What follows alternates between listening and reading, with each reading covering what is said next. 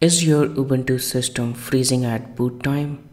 It's a common problem with the graphics driver where your Ubuntu system just gets stuck on this screen even before you see the login screen. Hey friends, I'm Abhishek from It's FOSS and I'm going to show you how to fix this problem. So first thing first, you need to be able to log in into your system. So at the grub screen, press E so that you can edit grub. And in here go to the second last line that starts with linux. And at the end of it type nomodeset. Basically what you are asking your linux kernel is to avoid loading the graphics driver. When you do that press ctrl x to save and exit your changes in the grub. Now you will see that you are able to boot into Ubuntu. Have you ever encountered this Ubuntu freezing issue? Leave a comment with yes below. So now you can see the login screen and then you can enter your password and sign in. It's not over yet because what you just did was temporary. If you don't do anything else, at the next boot you will have to repeat the same process again and that's not very convenient. So what you can do is you can make this change permanent by editing the grub configuration.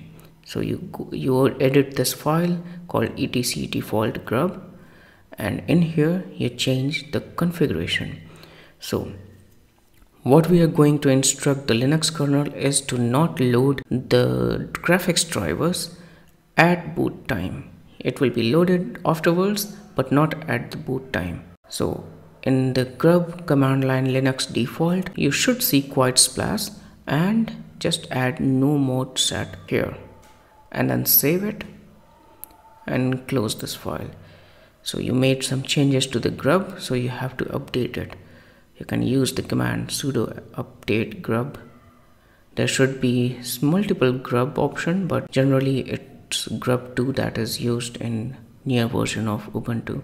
So sudo update grub2 should take like couple of seconds and that's it. Restart your system and you should be able to log into it. If you don't want to do it there is another method as well and that is only for system that has nvidia drivers. This is optional. If you change the grub that's fine. That works for intel and nvidia both.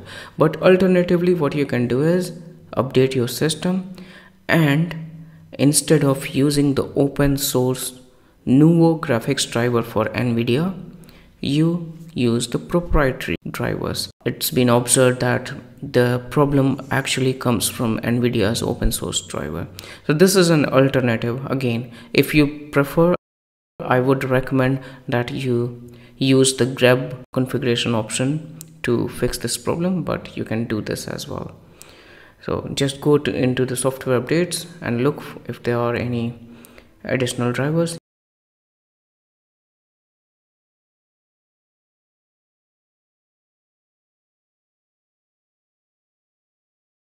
You may have to configure secure boot.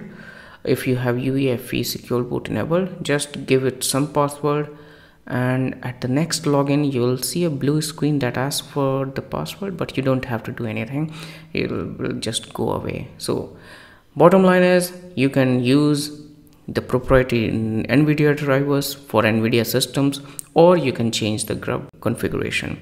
Did one of these solution work for you? If yes mention it in the comments. If no mention it comments as well and i can try to help you out with it. And if it did help you give it a thumbs up and do subscribe for more helpful linux videos